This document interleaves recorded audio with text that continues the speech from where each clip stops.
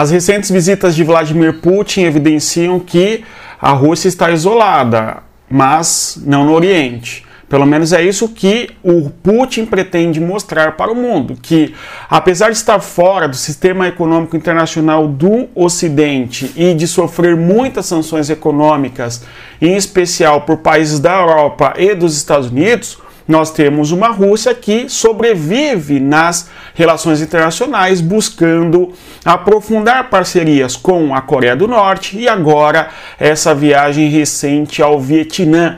É sobre isso que nós iremos falar no vídeo de hoje. Eu vou pedir a você que deixe o like, se inscreva no canal e, claro, divulgue o conteúdo das pessoas que gostam de geopolítica. Olá pessoal, tudo bem? Então, Putin está viajando para o segundo país na mesma semana e tentando mostrar ao mundo que existe uma enorme diferença entre a postura dos países ocidentais e do mundo oriental. Nós temos basicamente as parcerias de Putin envolvendo países como o Irã, além do Irã, a Coreia do Norte. Temos que a Índia não é um parceiro é, é, que apoie a Rússia na guerra, mas é um país que compra em grandes quantidades produtos oriundos da Rússia, ainda que a Rússia tenha sofrido sanções pelos Estados Unidos e pelos países da Europa Ocidental. A Índia, a China são países que compram em quantidades consideráveis, assim como o Vietnã, produtos oriundos da China não é? No caso, oriundos da Rússia. O que mostra bastante claramente que nas relações internacionais existe uma enorme complexidade e o Putin busca apoiar-se nessa complexidade e evidenciar que nem todos estão em acordo com os valores da Europa Ocidental. Mesmo porque historicamente houve boas e importantes relações envolvendo a União Soviética e o Vietnã. E o Vietnã, hoje em dia, é um país que tem se aproximado dos Estados Unidos no que se refere às questões econômicas. É um país que tem uma série de fatores que atrai setores econômicos e industriais importantes por conta de vantagens locais e geográficas competitivas como é o caso de produção industrial de brinquedos ou mesmo ainda de certos setores ligados à indústria de farmácias e também de computadores e assim por diante, não é? Além da indústria têxtil, que talvez seja a mais eloquente e a mais importante atividade industrial que se instala no Vietnã, fazendo deste país, inclusive, um novo tigre asiático que, apesar de dificuldades ao longo da história, nos últimos anos apresentou um crescimento econômico bastante rápido e considerável, um país que expande o seu parque industrial, inclusive.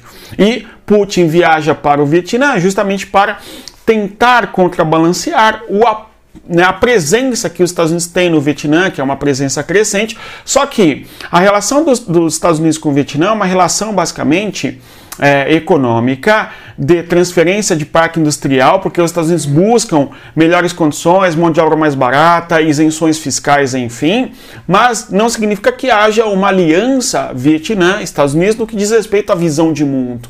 Outra coisa, a postura do Vietnã em se aproximar dos Estados Unidos também tem a ver com o crescimento geopolítico e importância de, de geopolítica da importância da China. Então, o Vietnã, em alguma medida, se aproxima dos Estados Unidos para contrabalancear um rival na região que é a China, enfim. Mas, por sua vez, repito, não significa que o Vietnã tenha um alinhamento ideológico, uma perspectiva de política internacional que condiz com os interesses de Washington. Tanto é que a visita do Putin ao Vietnã foi profundamente criticada por Washington pelos Estados Unidos. Mesmo assim, o presidente do Vietnã recebe Putin e vão aprofundar relações e, quem sabe, em portas fechadas, fazerem acordos de defesa mútua. Nós temos ainda que o Vietnã é um país que não condenou as sanções, é, no caso, não aderiu certo às sanções contra a Rússia e mesmo no âmbito da ONU é um país que manteve certa neutralidade em relação às condenações feitas contra a Rússia a partir de 2022. Putin aproveita esse espaço para se aproximar do Vietnã e mostrar para o mundo que a Rússia não está sozinha, ou talvez para nos evidenciar que o mundo não se reduz ao Atlântico Norte. O que você acha sobre isso? Comenta aqui embaixo. Bons estudos. E se você quer aprofundar o seu conhecimento em geopolítica, saber tudo que ocorre nas relações internacionais, ficar mais inteligente, dê uma olhada no nosso e-book. O link está na descrição do nosso vídeo. Tem ali um material específico para quem quer estudar e aprofundar o conhecimento. Mas é isso. Conforme sempre digo aos alunos, vem estudar com a gente geopolítica e respeita a geografia. Até mais. Tchau, pessoal.